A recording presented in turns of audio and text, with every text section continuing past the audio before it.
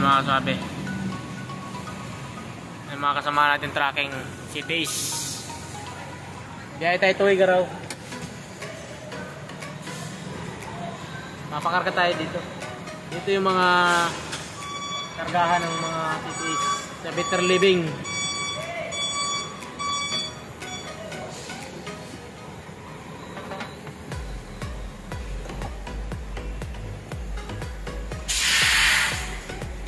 Mga kasabi.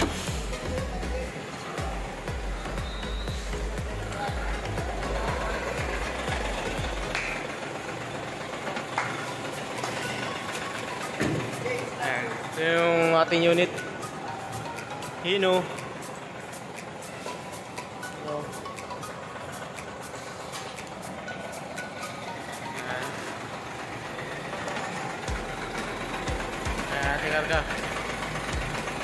270 at 280 liters. Dahil tuwi ka raw.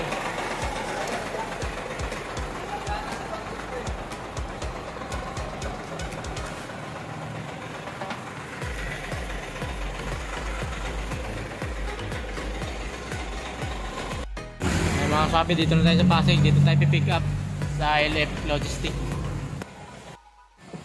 Yan yung mga pangarga natin mga kaswabe. Ayan o, kinakarga na sa truck. So hindi na natin tingnan kung anong klase yan kasi bawal tayo mag-video dito sa mga pakarga eh. So ganyan lang ang video natin dito. Ang oras natin alas 4 na ng madaling araw. Siguro umaga na kami makakaalis dito.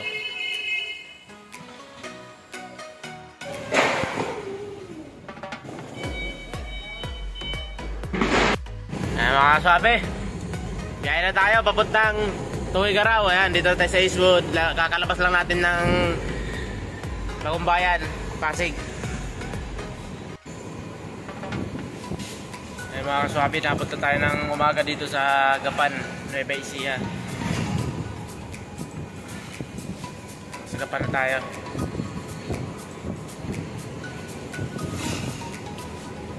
Ayan, marami tinta dyan. Nakalabas tayo ng alas 4.30 sa Pasig sa pinika pa natin LF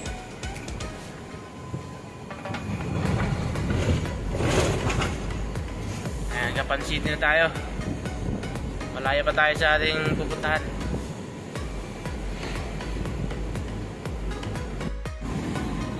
Magtarmart of Gapan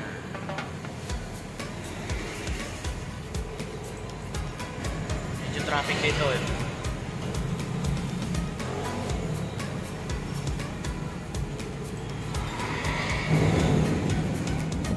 mga kaswabe, nasa kabundukan na tayo.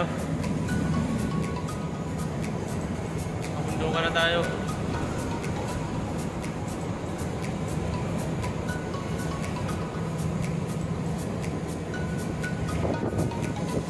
Sarap ang hangin dito mga kaswabe.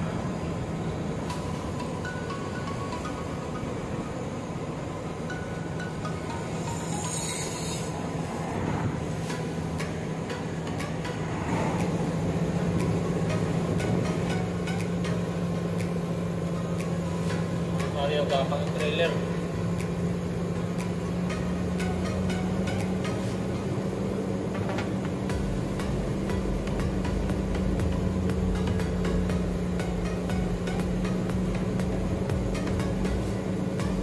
Bundok kasi dito, bundok.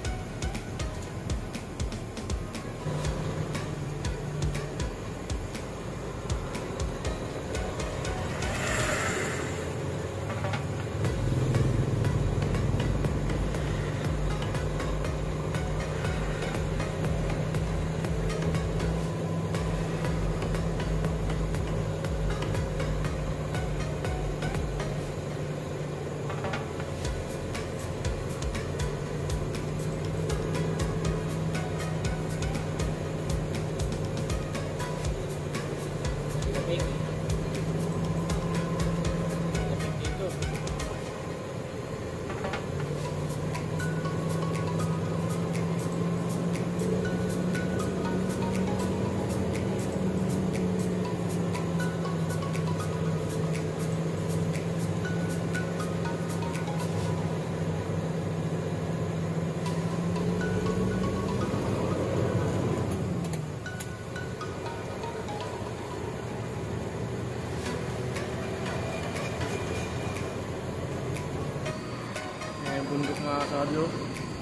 Mo pa na yung hamog.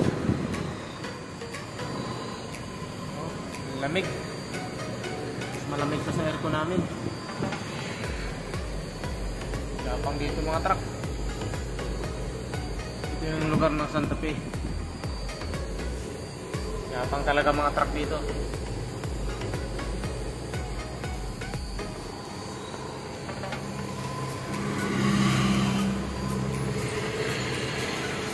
Maraming paon sa kapaliko yung mga daan.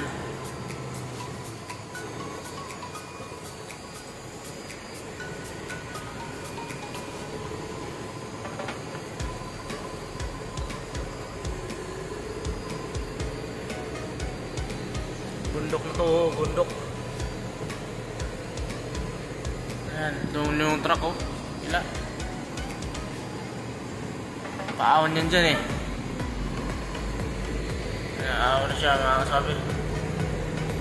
Ano?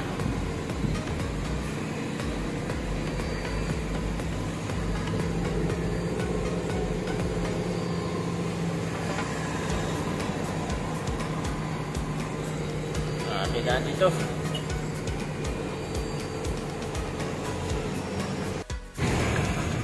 Sa Bella pa lang tayo mga kaswabe. Isabela.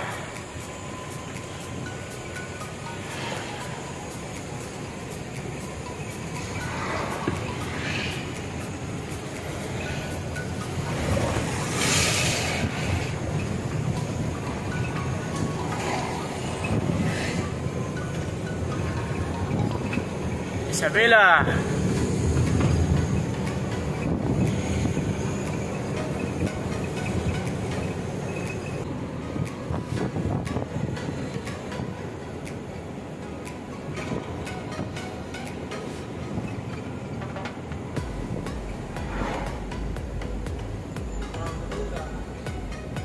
Aurora na tayo mga kaswabe. Sunod nito ay Tugigaraw na.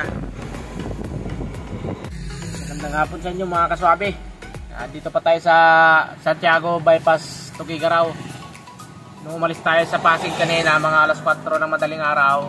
So ngayon alas 4 nandito tayo sa bypass ng Tugigaraw, Santiago. Hindi pa tayo nakakalusot kasi alas 10 pa raw pwedeng dumaan sa tulay kasi ginagawa ang tulay doon. Ngayon tumatambay muna tayo dito sa gate ng kalsada. Ayan, nag-aantay din ng alas 10 yan. Tsaka yung nasa harap natin. Tsaka meron pang truck doon sa likod niyan. Tara mga kaswabe, sibat na tayo. Ilang oras kami tumatakbo, walang mga bahay. Nakakatakot.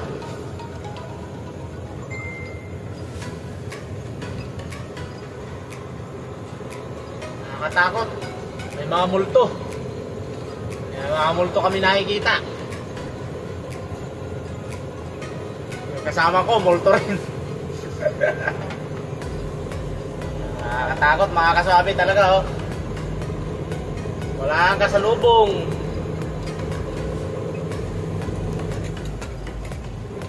Malapit na tayo sa Tugigaraw mga kasabi.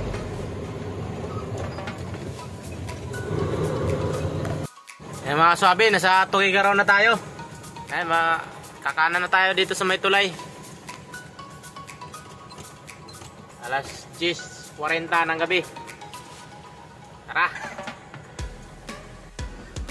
Eh, mga kaswabe, nandito lang tayo sa Tu- Tugigaraw. Ito yung tulay ng Tugigaraw. Mahaba yung tulay na yan mga kaswabe. Oh.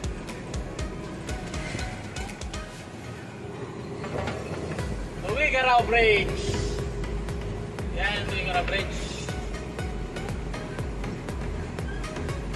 Malapit na tayo sa ating destination.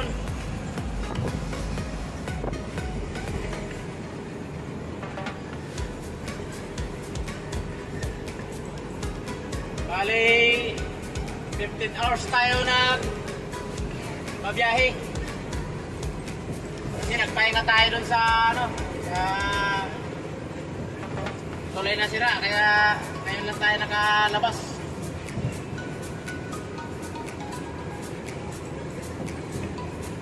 Mahaba rin itong tuloy na to mga kaswabe.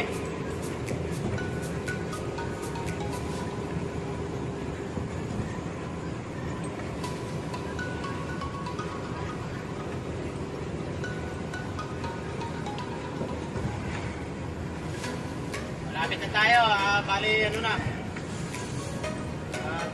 Ah, 200 meters. Good morning mga kasabi. Ngayon, nandito na tayo sa Tuigaraw. So, alas 10 ng gabi, nakarating na tayo dito. At ngayon tayo magdidiskarga. So, nandito tayo sa parking area ngayon. Yan, dyan tayo papasok sa gitna yan mga kasabi.